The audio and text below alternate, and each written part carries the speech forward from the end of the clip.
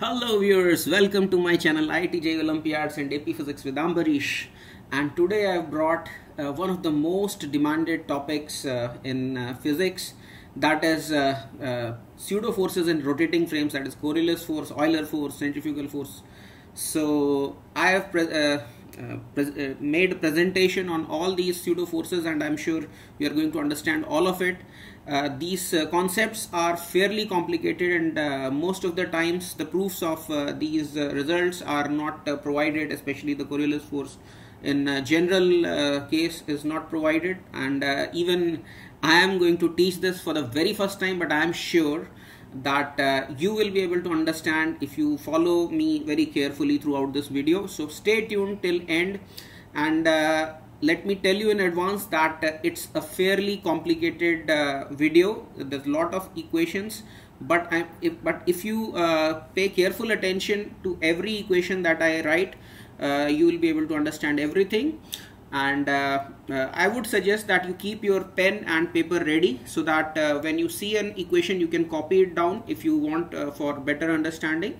And unless you understand an equation don't move to the next equation. And uh, I'll hold your hand through the throughout the video and uh, the concept will be yours to keep forever. So uh, without much ado let me straight away get into the explanation of uh, the pseudo forces in rotating frames. So let's see okay? So okay. So i've divided it into several concepts. So the first concept that we need to understand for understanding all these pseudo forces is first concept is rate of change of a rotating vector so let us say i have some vector b okay which is welded to some rotating axis. Let us say this is uh, this vertical thing is a rotating axis. It is rotating with some angular velocity uh, capital omega okay. So it's rotating with capital capital omega. So obviously if the vector b is welded to this axis the vector b will uh, uh, be uh, changing with time as far as uh, its location from the ground frame is concerned you see vector b is somewhere over here and after some time dt the vector b is somewhere over here. And the change in vector b is the final vector uh, the, the line joining the initial vector to the final vector. So this is the change in vector b as seen from the ground. Now uh, it's important to understand that even though vector b is changing from the ground frame from the rotating frame the vector b is still fixed. Why? Because suppose i call this direction as i cap so as my frame has rotated the entire frame has rotated still this this is in i cap direction. So in the rotating frame the vector b is fixed but from the ground frame the vector b has changed and this is the change in vector b okay? And now I'll try to relate the change in vector b with this uh, angular velocity of the frame capital omega and the uh, length of this uh, vector b okay? So uh, let me read it out. So rate of change of uh, rotating vector. Let a frame rotate with angular velocity omega vector and let b be a fixed vector in this rotating frame. Let b be inclined at an angle alpha with the axis of rotation. So this is the uh, axis and this angle is alpha okay? Now from the ground frame we can clearly see that change in vector b is b sine alpha into omega dt. Now uh, how is that? See uh, this is your vector b and you drop a perpendicular on the axis. So this angle is 90 degree and this is b and this is alpha. So the radius of this circle on which the tip of the vector b is moving the radius of this circle is nothing but b sine alpha right? So this is the radius of the circle that is b sine alpha. And you know that uh, the arc length and the chord length for very small angles are same. So and this angle is uh, capital omega dt so this is capital omega dt uh, angle and the radius is b sine alpha. So this length becomes simply b sine alpha into omega dt right so this is the magnitude of change in vector b. Now what about the direction? You can clearly see that uh, this direction is nothing but omega cross b vector. See omega vector is upward and b vector is this. And you can see that the change in vector b is uh, perpendicular to the plane containing the omega vector and the b vector itself right? Because it's along the tangent of the circle.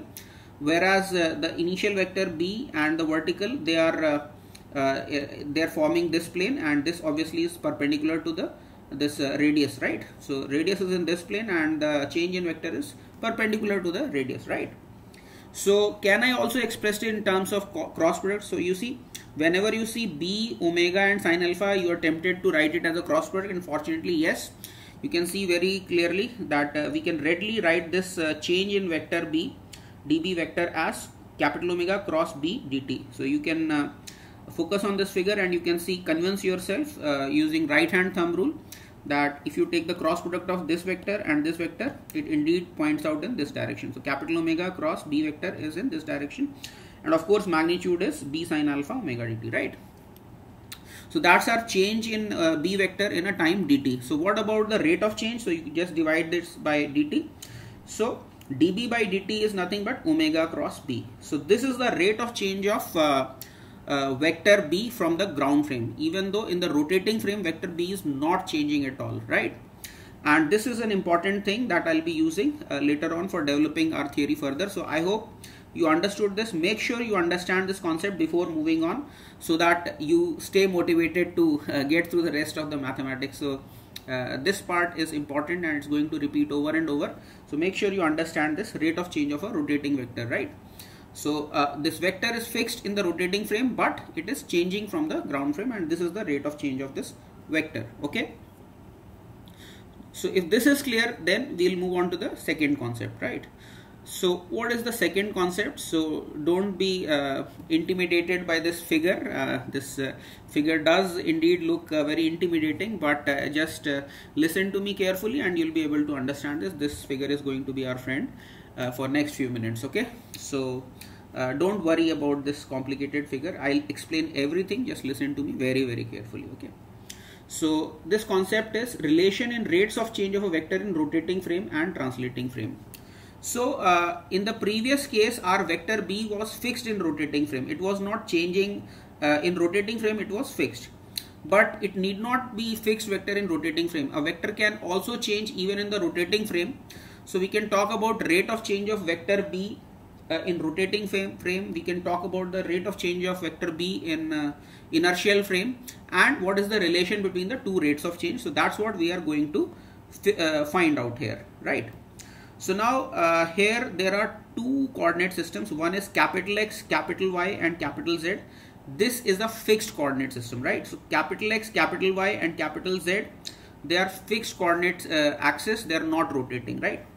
And there are uh, small x, small y and small z axis uh, which uh, have the same origin as the, uh, the coordinate system capital X, capital Y, capital Z so origin of both the coordinate systems is coinciding. However, the difference is that small x, small y, small z, this coordinate system is rotating about this uh, axis with an angular velocity omega. So you can say that y-axis will be going somewhere on that circle, right? And similarly, x-axis will be going somewhere on that circle and z-axis will also be going on somewhere on that circle, right? Because the whole axis, uh, this small x, small y, small z frame is rotating with an angular velocity capital omega that's shown in green. About this the small x small y small z is rotating okay? So let me read out so let o capital x capital y capital z be a fixed frame and o small x small y small z be a rotating frame. Rotating with an angular velocity capital omega vector. And let q of t be a time varying vector. And we wish to relate the rate of change of q vector in rotating and fixed frames. So Q is a vector which is not fixed even in rotating frame. Even in rotating frame it is changing and obviously it's also changing in the ground frame. And we want to uh, find the relation between two rates of change, right? So uh, what can I write instantaneous uh, value of vector Q? See, so Q will have some component along small x axis, Q will have some component along small y axis and Q will have some component along uh, z axis, right? So it will have three components and let's say we write this q vector as q is equal to qx i cap plus qy j cap plus qz k cap all small subscripts so these are the components of vector q in the uh, rotating frame right here i j k are unit vectors along x y z of the rotating frame okay? Now i need to differentiate to find the rate of change of vector q i need to differentiate this whole thing with respect to time. And uh, now this I'm going to tell you a very important distinction so uh, pay careful attention. We can differentiate this with respect to time from either rotating frame or from ground frame right? What's the difference between the two see if you are differentiating this in rotating frame then i, j, k vectors themselves they are fixed vectors. So you need not apply product rule while differentiating them. If you are taking the time derivative in the rotating frame. Whereas if you are taking the time derivative of this thing from the ground frame or the capital X capital Y capital Z frame then realize that i cap j cap and k cap themselves are changing vectors. So when you are differentiating qx i cap you need to apply the product rule. So qx dot times i cap plus qx times i cap dot. That's what we have to do right? So let's see how do we do we differentiate this? So here i j k are unit vectors along uh, uh, x y z of the rotating frame. So uh, I'm deliberately writing subscript O small x small y small z. That means I'm taking the derivative in the rotating frame right now okay? And later on I'll take the uh, derivative of q vector in the the inertial frame or that is capital X uh, frame okay? So if I just uh, take uh, I've deliberately used the dot notation for rate of change. Dot means d by dt right? So just for brief uh, brevity I have just used uh, uh, dot instead of d by dt okay? So the rate of change of q vector in the rotating frame o x y z small x small y small z is nothing but q dot x i cap plus q dot y j cap plus q dot z k cap and I'm not differenti differentiating these terms because in rotating frame these i j k are fixed vectors so just a differentiation of this equation gives me equation number 3 okay this is the rate of change of q in the rotating frame. However, now what about the rate of change of q vector from the uh, inertial frame or the capital X, capital Y, capital Z frame? So then I need to use the product rule. So what is the derivative of first term? That is q dot x i cap plus qx times i cap dot okay? Or di cap by dt right. Similarly, what's the derivative of the second uh, second term? Uh, this one. So this will be q dot y plus uh, q dot y j cap plus qy times j cap dot. So that's what i've written q dot y j cap plus qy j cap dot okay? And similarly the derivative of the third term will be q dot z uh, k cap plus qz k cap dot right?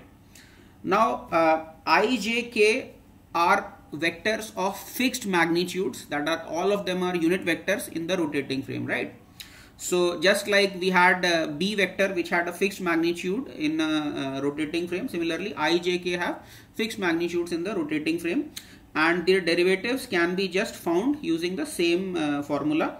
dB by dt was omega cross B. So what will be d i cap by dt? d i cap by dt by the same logic will be omega cross i cap, right? So I hope you understood the rate of change of i cap, j cap, k cap vectors. They can be directly related using the equation 2 so that's what i'm going to do you see. So uh, this becomes what? See so d i cap by dt is omega cross i cap by the same formula equation 2 similarly dj cap by dt is omega cross j cap and dk cap by dt is omega cross k cap right? So now uh, so this this uh, these three terms if you take the summation this becomes what? Qx times uh, omega cross di by dt okay? Similarly qy times omega cross uh, uh, omega omega cross uh, j right? This is omega cross j cap. Here this is omega cross i cap. This one will be omega cross j cap and this will be omega cross k cap. So if you take omega cross common outside what will be left with? This will be uh, qx i cap and this will be qy j cap and this will be qz k cap and there will be omega uh, cross common outside you can take right? Because everywhere there is an omega cross something omega cross i cap omega cross j cap omega cross k cap. So omega cross can be taken outside and uh, inside you you had qx i cap plus qy j cap plus qz k cap which was nothing but q vector itself right? So this term these three terms they simply become omega cross q vector right? So and this is what this is the rate of change of if you see the first three terms this is same as rate of change of q in the rotating frame right? So this part is rate of change of uh, q in the rotating frame right? And this is omega cross q vector itself. So what is the rate of change uh, from the inertial frame? So this is the rate of change of inertial frame. That is nothing but rate of change in the rotating frame plus omega cross q vector itself. So this is a very important result. Okay?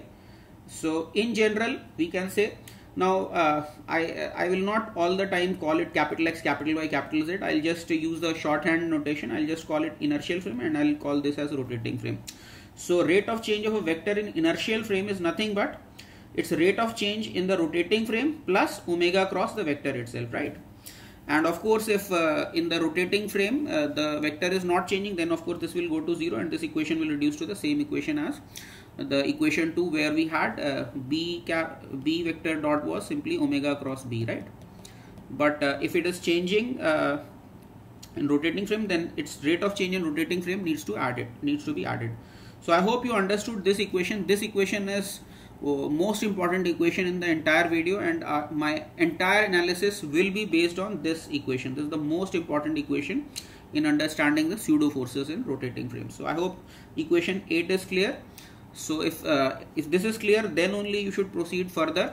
If not you can try to rewind the video. You can use your pen on the paper and try to work out these equations yourself. Watch them. And uh, make sure you are clear with the maths of it. And you are on the same page as uh, I am. And uh, it's important to keep your motivation to watch the rest of the video. And I want you to be highly motivated so that you do get this concept studying with me. Okay so let me now move further. If required you can pause the video you can rewind you can see everything and then come back to this spot and move from here uh, move further from here okay? So this equation most important equation that is relation between rates of change of any vector in rotating and non-rotating frame. So this is the rate of change in the non-rotating frame and this is the rate of change in the rotating frame. So these this is how the two are related okay? Now let's go to the next uh, thing. That is relating the plane motion of particles in rotating and translating frames okay? So uh, now let us say instead of x y z i have uh, just plane motion so just i have capital x capital y and small x small y uh, these are the frames okay? So whatever i have derived for the three dimension that's also applicable for two dimension. Obviously two dimension is a subset of three dimensions. So what will be the velocity of point p? Let us say r is the position vector of point p okay and how do we find the velocity? So you know that velocity is nothing but derivative of the position vector right? So now this point p will have some velocity in the rotating frame and it will have some other velocity in the inertial frame. So how do we relate the two? So according to our formula see the velocity from inertial frame is nothing but velocity as seen from the rotating frame plus omega cross r vector itself right? So this is our velocity of point p as seen from the inertial frame. Rate of change that is velocity. So we can say velocity of p is velocity in the rotating frame plus omega cross position vector right? Okay. And this can also be visualized. Whatever we have got using our standard formula this can also be visualized directly. So what how we can visualize this? See uh, imagine that under this point there is a point p dash which is fixed with with respect to the rotating frame so if the if the point p dash is fixed in the rotating frame so you know from circular motion that the velocity of point p dash will be nothing but omega cross r right? But then relative to p dash it also has some velocity. Uh, that is the velocity in the rotating frame so you just need to add. So so the net velocity simply uh, v rot plus uh, v v uh, in the rotating frame plus omega cross r. So that's how you can visualize uh, you can relate it to whatever you know already from circular motion. Okay? So we can say okay and uh, suppose uh, the o were not a stationary point. So so far we have done the analysis assuming that o is a stationary point. But i could observe the motion of p from some other frame where o itself is running okay O itself is translating and there is some other frame from which you are seeing O, then what will be the velocity of P? So you can simply use the relative velocity formula there because it's translating so no complications. So that is velocity of O plus velocity of P as seen from O. So you just need to add the velocity of O. If you want the velocity of point P from some other frame related to which O itself were moving with some velocity VO. Okay, so I hope you understood this one. So that is equation 10. So ninth equation comes when O is stationary and 10th equation we get if O is moving uh, with respect to uh, some other frame. So in that frame the velocity becomes simply velocity of point O plus velocity of the point P as seen from O. Okay. So I hope the equation 10 is clear. So so far we have worked out the velocities. Okay. By the way, these relations are also true in three dimensions. So uh, nothing special about uh, doing it in 2D although some simplification will get uh, for 2D cases that we'll see later on. So these equations are generally valid. 9th and 10th both equations are generally valid okay in three dimensions also okay. Now I am interested in finding the accelerations from the uh, non-rotating frame okay. So uh, what about the acceleration of point P? So for acceleration you need to differentiate the uh, velocity right so if you want the acceleration from the uh, inertial frame you need to take the derivative of everything in the inertial frame. So please remember the derivatives in inertial frame will be different from the uh, derivatives in the rotating frame. Okay? So now to find the acceleration from the OX capital X capital Y capital Z or non-rotating frame we can compute the rates of change of terms in equation 9 okay? So what are the uh, terms here? So there is omega cross R then there is uh, velocity. This is basically velocity as seen from the rotating frame right and I need to find the derivative of all the terms from the ground frame. So uh, acceleration from the inertial frame will be derivative of the velocity as seen from rotating frame. This derivative needs to be taken from the ground frame. So mark my words very carefully. We need to find the rate of change of velocity as seen from the rotating frame. But that rate of change needs to be calculated from the ground frame and not rotating frame. Okay or we can say that v rot let us say is the velocity in the rotating frame. So we need to find the rate of change of v rot from the ground frame. Now this can be a bit confusing so let me try to explain to you what i mean by this. Uh, for example let us say there is a cone and the cone is rotating and i have cut a groove uh, on the cone and rotating uh, in the rotating cone let us say a particle is just moving along the groove with a constant speed so what is the rate of change of velocity uh, of uh, from the ground frame uh, the velocity relative to the cone from the ground frame you see the velocity vector is right now here and from the ground frame this velocity vector relative to the cone will be somewhere over here so these are velocities related to the cone only. I have not superposed the velocity due to the rotation of the cone. So velocity relative to the cone itself is changing from the ground frame, although it is not changing from the rotating frame. Let me repeat this. So there's a rotating cone. I have a groove and an ant is moving with constant velocity on the groove, let us say.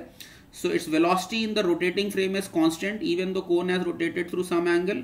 The velocity relative to the rotating frame is 0 and the rate of change of velocity relative to the cone from the inertial frame is 0 although this vector has rotated from the ground frame and this velocity vector is not the net velocity vector from the ground frame. This velocity vector is the velocity vector relative to the cone but even this has changed from the ground frame. And this is not the velocity relative to the ground frame. Why? Because net velocity vector from the ground frame is not this uh, along the velocity along the groove. For finding the net velocity from the ground frame you would have to add the rotational effect of the cone to this particle. So i hope you understand this. It's very important. If you've not understood it I'll uh, rewind it a little bit maybe slow it down as much as required and try to meditate on what i have said so i want to find out the rate of change of velocity vector as seen from velocity from the rotating frame and its rate of change is being found from the ground frame. Okay. Let me repeat once again. I am trying to find out the velocity as seen rate of change of velocity as seen from the rotating frame but the rate of change I need to calculate from the ground frame. Okay. So again uh, let me so uh, I just apply the for this term this is very simple. So I am finding the derivative of each of these terms in the ground frame. So what do I get for acceleration you see? Uh, this is very simple. So this is product rule you apply. So omega cross r dot plus uh, plus uh, omega dot cross r. So this term is simply omega dot cross r plus omega cross r dot. So simple product rule you can apply. And then you need to find the derivative of this r dot oxy with respect to the uh, ground frame or the inertial frame right? So again the rate of change of any vector from inertial frame is nothing but rate of change of that vector from the rotating frame plus omega cross that vector itself right?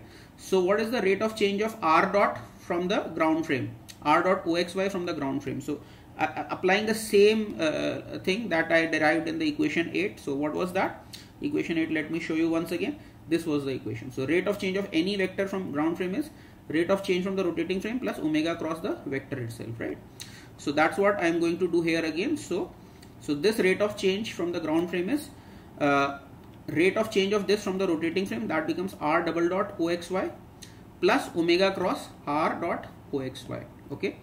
Or we can say that this is the acceleration as seen from the rotating frame plus omega cross velocity as seen from the rotating frame. So same formula, exactly the same formula I put here, right? So now uh, uh, uh, this uh, this is the derivative of this part and this uh, so this plus this plus derivative of this if you take that So that becomes what? So this is omega dot is nothing but angular acceleration. So that I have written as alpha. So this term is alpha cross r. Then what about this term? This is omega cross velocity, right? The r dot is nothing but velocity from the inertial. So I've taken all derivatives from the inertial frame, right? So r dot is also from inertial frame. Omega dot is also from inertial frame. Okay. So omega cross r dot that is the omega cross velocity as seen from the ground frame. Okay. And what about the velocity as seen from the ground frame? Once again, I can write this as velocity as seen from the rotating frame plus omega cross r, right? Using the same formula, the equation 8, right? So this term is nothing but omega cross velocity from inertial frame, which is velocity from rotating frame plus omega cross r okay? And derivative of this is nothing but this r double dot oxy is nothing but acceleration as seen from the rotating frame plus omega cross velocity as seen from the rotating frame. So i hope you understood equation 13 and now we'll do little more sim simplification. So if equation 13 is clear then our job is uh, uh, uh, I mean uh, job is easy. So make sure you understand equation 13 look at the maths over here what I have done. And if required you see whatever I did with the cone there. Uh, it's important to understand this is the crux okay? This is very important. And uh, uh, to keep your motivation uh, if you want you can rewind. If you have understood that's fine. You can move on with me okay but uh, I very much want that uh, this concept should stay there with you. And I worked very hard on this one. And I'll be very happy if you do understand this nicely. Okay? So uh, equation 14 uh, okay. Yeah so we were at equation 14 so uh, yeah. Uh, equation 13 we have done. And now we can do some more simplification you see. I can apply distributive law cross product is distributive so this omega cross v rot and here also you have an omega cross v rot you can combine the these two. So this becomes twice omega cross v rot right?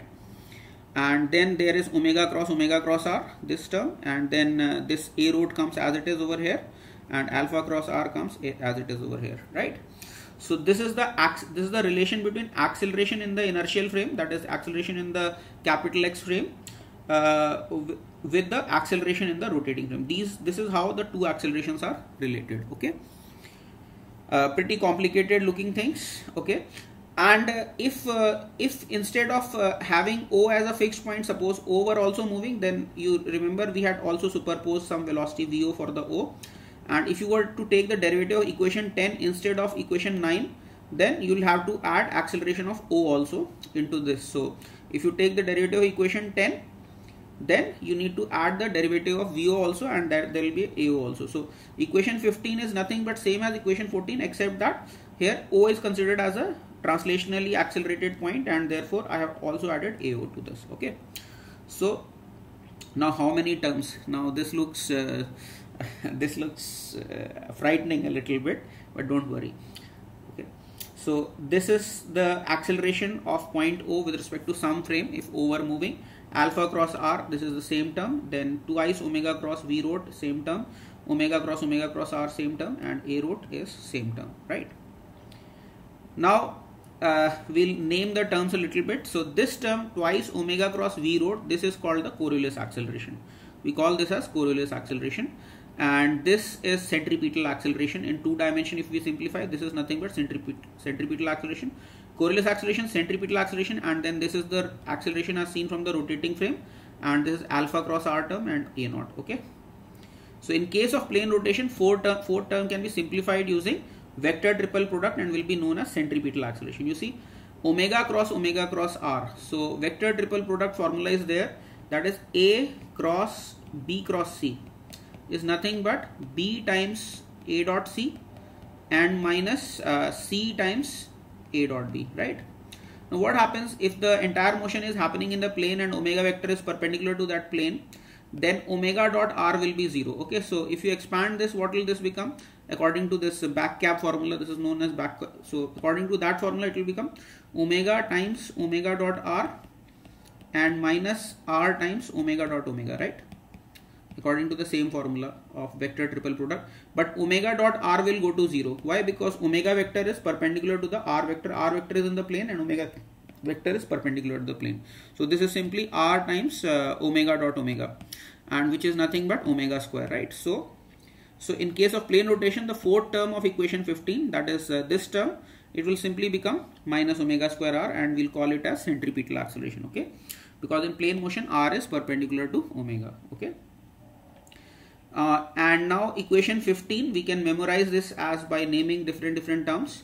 So let's call this as the a naught is uh, a naught is of course a naught.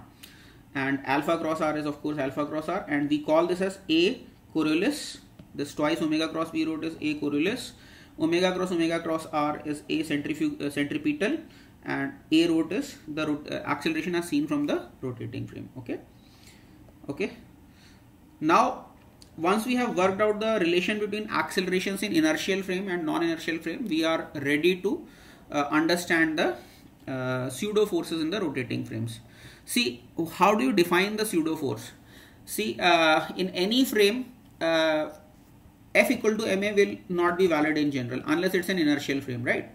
So in general uh, if in one frame if in inertial frame f equal to ma is holding uh, uh, correct then in another frame of course acceleration will change but real forces are same. So if no matter what the frame all the real forces will be same but accelerations appear to be different. So that means what? Newton's second law is going to be violated. So definition of pseudo forces that you apply some extra force so that f equal to ma again becomes valid and some fictitious forces you have introduced right so from rotating frame, the uh, you have to apply some rotate uh, some extra pseudo force, and uh, okay, and this is the acceleration as seen from the uh, inertial frame. A is the uh, acceleration from inertial frame, and a rot is the acceleration from the rotating frame, right? So now we shall work in a rotating frame whose angular velocity is omega vector and angular acceleration is let us say uh, alpha in such a frame the only acceleration visible is a rot okay? So this this is the only term that will be visible in such a frame which is rotating with uh, omega and alpha right? So and uh, now we can multiply this entire equation by mass. So what do we get? If you multiply equation 16 by mass so you can see that mass times acceleration of p from the inertial frame is mass times a naught plus mass times alpha cross r plus 2m times omega cross v rot plus m times omega cross omega cross r plus m a rot. So same equation, uh, some boring operation. I multiplied whole thing by m. Okay. So now what is going to come out from here? You see, mass times acceleration of particle is nothing but real force, right? F real. Okay. And mass times acceleration in the rotating frame should be the resultant of F real and F pseudo, right? So that means what now f real you can cancel on both sides and to calculate the pseudo force you take other terms on the left hand side and you can solve for the pseudo force. So that's what I've done. Let f be the real force and sp be the pseudo force required in the rotating frame. Okay. Then mass times acceleration of particle is the real force that is f vector. Okay. By Newton's law in inertial frame and m times a rotational is nothing but f plus pseudo force right. So this term is f plus pseudo force. So you cancel f on both sides and pseudo force can be calculated by taking all these terms to the left hand side. So what are we left with? So if you do that, uh, so using equations, I'm calling this as 19, this is 18 and I'm substituting this in equation number 17 and rearranging equation 17. So what do I get? Pseudo force comes out to be minus ma naught minus m alpha cross r minus 2m omega cross v rot and minus m times omega cross omega cross r. So you see these terms they these these are the same terms and with the negative sign coming on the other side because right hand side pseudo force is there all these terms have to take to the left hand side. So what do I get? This is what I get okay minus ma naught minus m alpha cross r minus 2m omega cross v rot and minus m times omega cross omega cross r okay now there are four terms in the pseudo force which can be explained as follows. They have some names. Okay. So this minus ma naught, this is very much familiar. You know that whenever there's a translationally accelerated frame, you apply a pseudo force opposite to the acceleration of the frame of observation, right? So this is uh, simple, right? So this is the usual translational uh, pseudo force, right? So minus ma naught, okay? Then this term minus m times alpha cross r uh, this we'll talk about. Then uh, the, the, next I have talked about is minus 2m omega cross v rot okay? So remember in this v rot is the velocity as seen from the rotating frame okay? And this force is called Coriolis force okay? This is what we were interested in uh, most interested in this part. So here omega is the angular velocity of the rotating frame and v root is the velocity of the object being observed from the rotating frame and this much is the Coriolis force that must be put okay? So F Coriolis is minus 2m omega cross V and there should be v rot over here. So let me just write v rot v rot means velocity as seen from the rotating frame. Then the third term uh, that is uh, this term okay? Uh, this term. This term is known as Euler force. All of them have the dimensions of force right? This term comes because of the angular acceleration of the rotating frame. And this term is known as Euler force okay? So Euler force is minus m times alpha cross r. And then the fourth term is this one minus m omega cross omega cross r. This term is called centrifugal force right? So this is the centrifugal force minus m times omega cross omega cross r and then uh, again for 2d motion you know that omega vector is going to be perpendicular to the r vector. And then uh, this will simplify to simply m, m, omega square times r vector which you are familiar from your circular motion also. So this is your centrifugal force. So i hope all the four pseudo forces are clear. And we have not only just taken a rotating frame we have also taken a uh, we have taken a frame which is rotating and whose origin is accelerating with an acceleration a naught. So that kind of frame we have taken. And in such a frame we have worked out all the four pseudo forces right? So one is due to the translation of the frame and the others uh, this Coriolis force Euler force and the centrifugal force okay? So we have worked out all the pseudo forces so now to make this concrete I'll be presenting two examples two illustrations so that uh, the thing sets in your mind nicely and uh, this concept uh, uh, you grasp this concept uh, in a better manner. So I'll just take two illustrations. So first I'm taking a simple illustration the illustration is very simple although uh, it it will use all the uh, pseudo forces that we have studied. So what's the question here? So question is a turntable begins to rotate with constant angular acceleration alpha.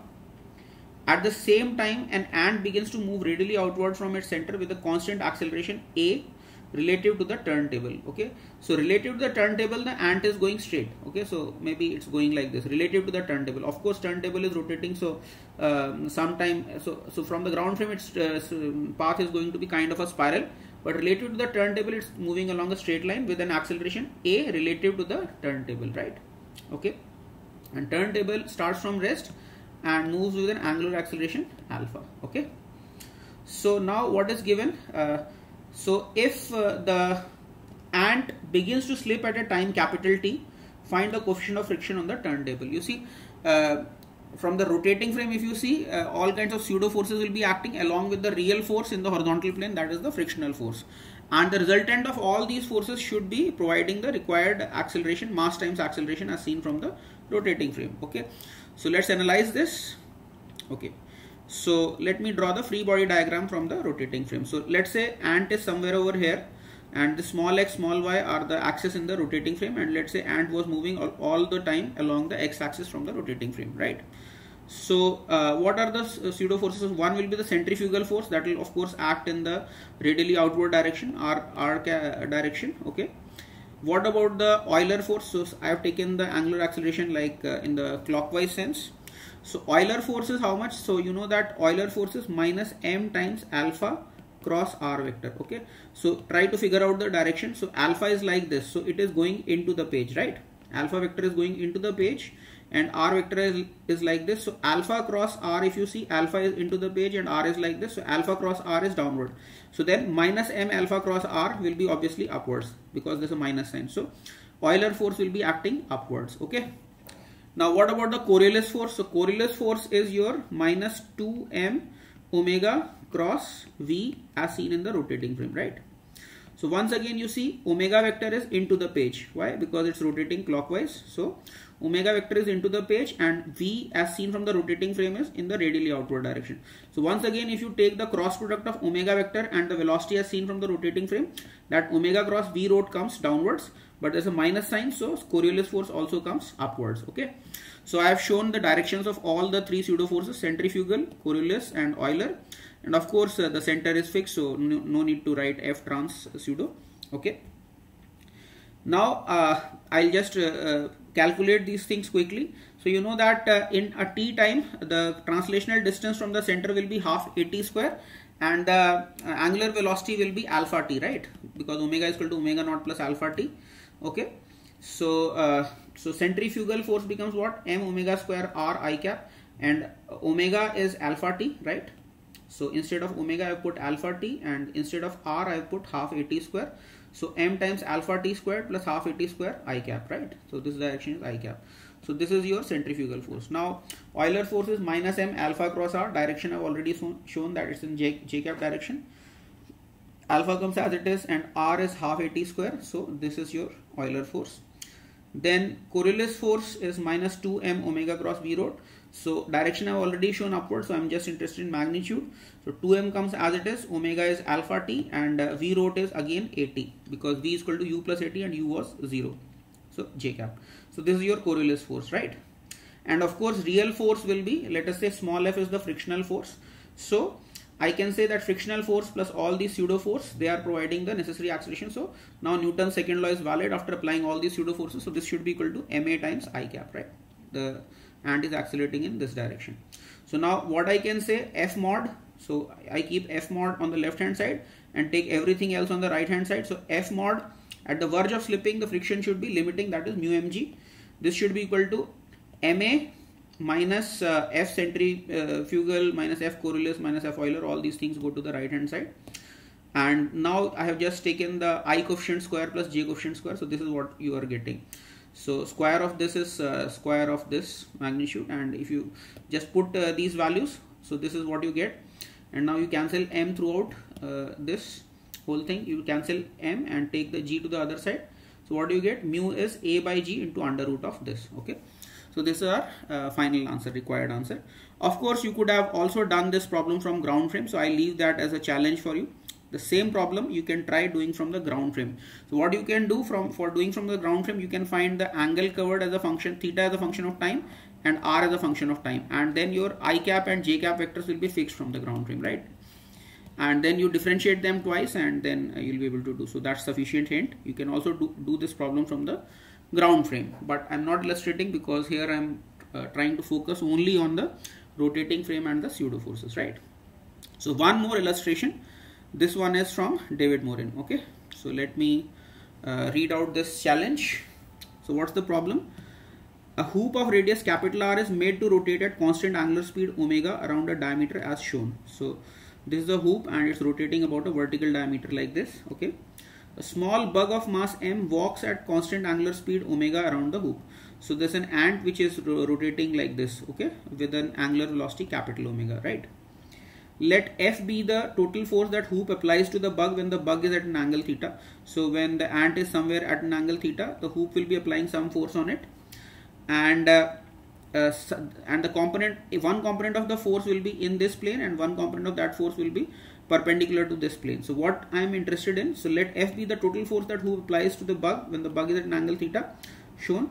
Let F perpendicular be the component of F that is perpendicular to the plane of the hoop. Find F perpendicular in two ways, ignore gravity in the problem.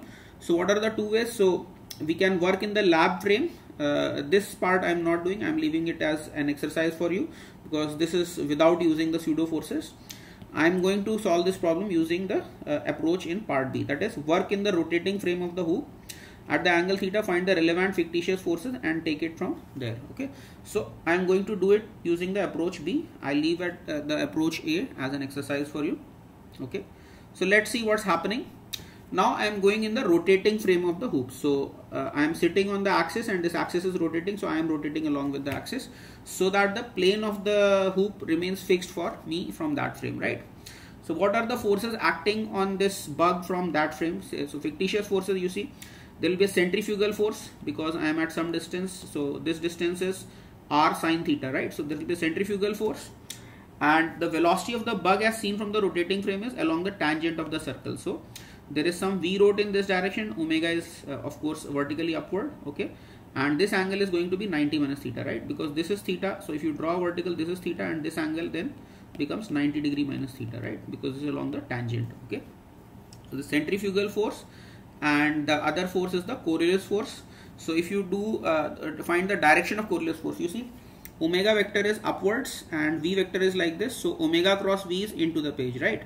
But your Coriolis force is minus 2m omega cross v as seen from the rotating frame so obviously that will be coming outside because omega cross v rot is inside so negative sign so that becomes so Coriolis force is outside right and now I have shown x, y and z uh, axis in the rotating frame. So horizontal is x, vertical is y and z coming out of the page. Okay.